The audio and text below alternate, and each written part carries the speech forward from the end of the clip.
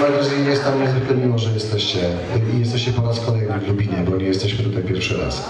Parę lat temu graliśmy e, tu i było niezwykle miło i spodziewamy się, że będzie podobnie.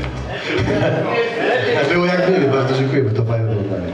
Jak wiecie, e, przynajmniej ci, którzy byli, e, a ci, którzy są po raz pierwszy, to się za chwilę dowiedzą, że ten koncert to oczywiście odwołanie się do najpewniejszych piosenek Blackout, do piosenek Miry e, i Tadeusza i oczywiście ten koncert nie miałby sensu, gdyby nie obecność Piotra. Piotr Nalepek.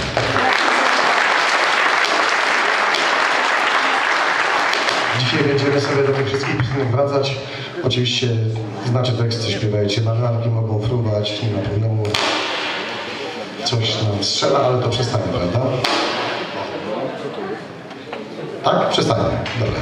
Yy, no jak wiadomo, no dzieci kwiaty same siedzą, no to wiadomo, że będzie, że będzie fajna zabawa i, i, i może i nie jedna łezka się dzisiaj jeszcze wokół zakręci i trochę wspomnień, e, bo taki charakter ten koncert ma. E, wiadomo, że Mira i Tadeusz to niezwykły duet, który pozostawił po sobie wspaniałe piosenki e, i dzisiaj te piosenki od Miry będzie śpiewała Żaneta Rubera.